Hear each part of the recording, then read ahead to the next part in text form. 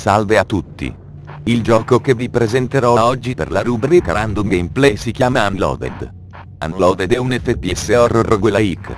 Ho trovato questo titolo per caso, fra i video suggeriti su YouTube, mentre commentavo un altro video che parlava di giochi roguelike. Ironicamente, ciò è successo mentre parlavo degli altri due titoli dello stesso genere che ho già descritto in questa rubrica. Fantasmale Vaccine.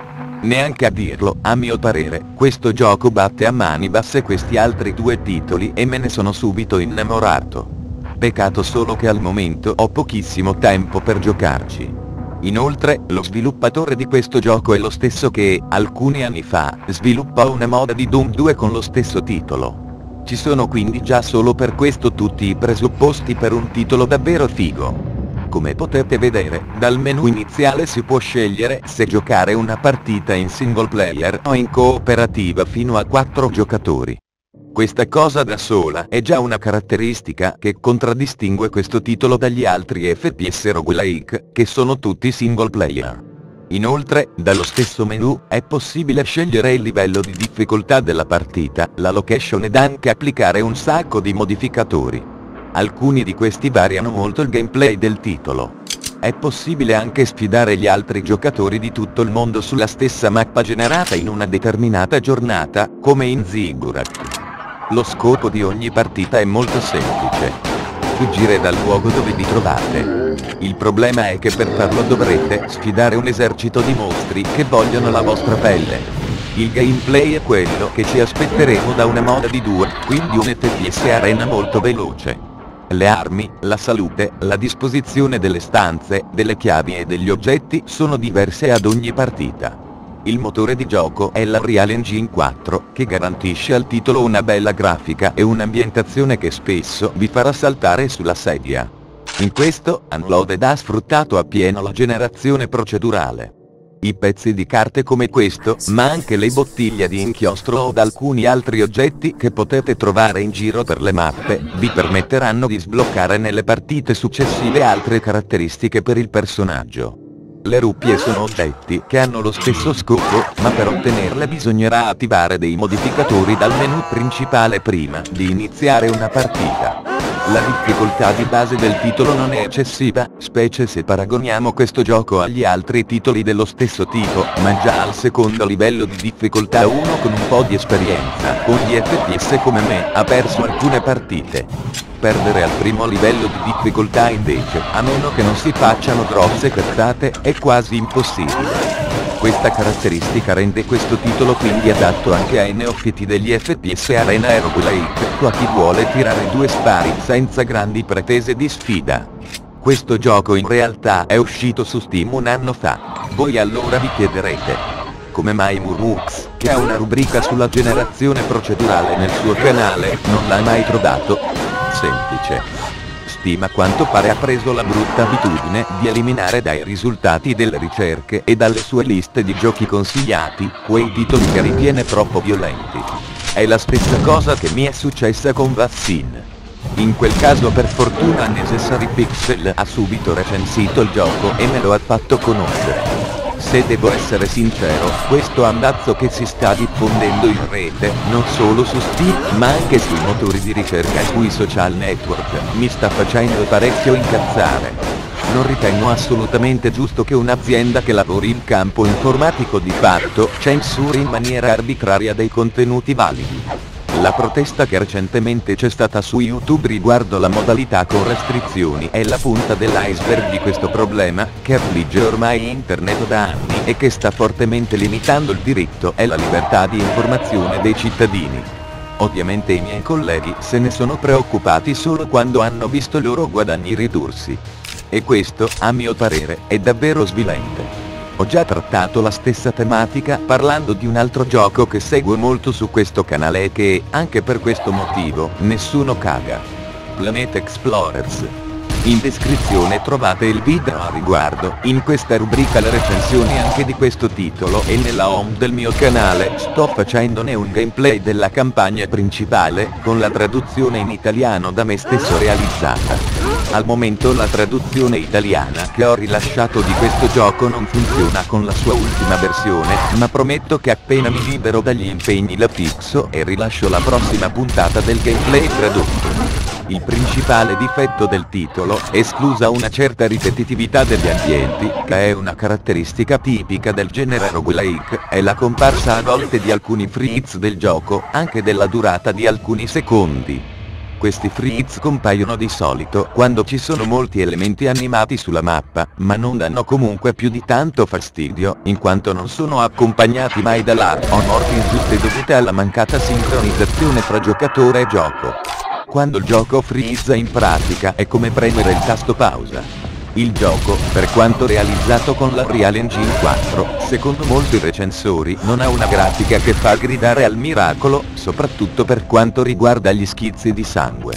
Molti degli stessi recensori hanno per questo motivo, oltre che per il gameplay arena, a loro dire non al passo coi tempi, bollato il gioco come uno schifo. Beh, anche se graficamente Unloved non è il massimo, sarebbe bene secondo me che le redazioni delle riviste che si occupano di videogames cacciassero via dai loro uffici i bimbi minchia degli anni 90 e mettessero recensori degni di questo nome. Un ulteriore difettuccio presente in alcune partite è quello che porta alcuni cadaveri a baggarsi con gli oggetti della mappa. Ma è comunque anche questa una sottigliezza. La cosa a cui bisogna invece fare attenzione, e che mi ha fatto perdere un sacco di tempo nel montare questo video, non riguarda direttamente il gioco, ma le riprese fatte del gioco stesso. Le riprese fatte con Fraps infatti fanno schifo per qualche motivo, tanto che il gioco stesso consiglia all'avvio, se rileva Fraps, di fare le riprese con un software della Microsoft. Anche tale software in realtà fa cagare, per cui alla fine ho dovuto usare Bandicam. Il problema di Bandicam è che di default codifica i video in un modo non compatibile con Sony Vegas. Solo usando un altro software della stessa casa, Bandicoot, sono riuscito a risolvere il problema. Ricordatevi quindi, se volete fare dei gameplay di questo titolo, di usare Bandicam e di settarlo come da guida che trovate in descrizione per fare delle riprese da subito compatibili con Sony Vegas. L'ultima cosa che vi faccio vedere di questo gioco è una vera chicca. Già solo per questo Unloaded dovrebbe essere fra i top seller di Steam. Un modificatore delle partite, utilizzabile solo in single player, è la Hot Mod. Cos'è la Hot Mod? Beh, avete presente il gioco Super Hot? Bene. La Hot Mod è l'implementazione dell'originale gameplay di Super Hot in Unloaded. In pratica è Super Hot più Doom più generazione procedurale più roguelike. Per chi non lo sapesse, la particolarità di Super Hot è che il tempo di gioco si muove solo mentre voi vi muovete. Quindi ad esempio i proiettili possono colpirvi solo mentre siete in movimento e ci andate contro in Unloaded, per rendere il gameplay più bello e perché molti nemici hanno attacchi solo a corto raggio, il tempo in realtà un po' si muove mentre siete fermi, ed i nemici, invece di uccidervi in un colpo solo, vi fanno molti più danni che in una partita normale. Gli sviluppatori di Super Hot è da parecchio tempo che avevano promesso la generazione procedurale dei livelli di gioco, ma questa cosa non l'hanno mai realizzata. È bello vedere ogni tanto un concorrente che supera il maestro. Ovviamente nessuno dei recensori bimbi minchia che ha recensito Unloaded ha minimamente citato nella recensione questa caratteristica del gioco. Voglio sperare che semplicemente non fosse stata ancora implementata al momento della scrittura del giudizio. Anche perché hanno bollato i modificatori del gioco come aggiunte monotone ad un gameplay monotono. Un'altra cosa. Cari miei recensori dei miei stivali, Dovete ancora spiegarmi perché la grafica di Unloaded fa cagare, mentre quella di Super Hot, praticamente tricolore, è figa. Dovete anche dirmi com'è possibile che gli ambienti procedurali di Unloaded siano monotoni e ripetitivi, mentre quelli di Super Hot, fatti di sole pareti bianche, siano roba da sbadarci sopra. Dovete anche spiegarmi perché Super Hot, che si finisce in 3 ore, costa 20 euro, mentre Unloaded si compra anche a meno di 5 in offerta. Non è che per caso il calo di prezzo è colpa vostra che non lo recensite come si deve? Anche perché chi l'ha giocato su Steam non la pensa come voi nella maggior parte dei casi. Una volta raccolte tutte le chiavi, per vincere una partita dovrete riempire di sangue tutte e sette le macchine come questa sparse nelle ultime stanze del livello. Fatto questo dovrete scappare tramite l'ascensore posizionato nella stanza iniziale dove siete spawnati. Ogni volta che metterete del sangue nelle suddette macchine vi verranno tolti alcuni punti vita. In definitiva, per me Unloaded, nonostante alcuni difetti e bar dovuti ad una non perfetta ottimizzazione, è un gran bel gioco. Gran bel gioco ingiustamente censurato da Steam ed ingiustamente recensito dai pochi recensori che se ne sono occupati. Inoltre è il gioco a mio parere perfetto per chi vuole buttarsi nel mondo degli FPS roguelike, in quanto non difficilissimo, è un ottimo horror che sfrutta appieno la generazione procedurale per dare tensione e di sicuro piacerà ai fan di Super Hot, che dovrebbero conoscerlo.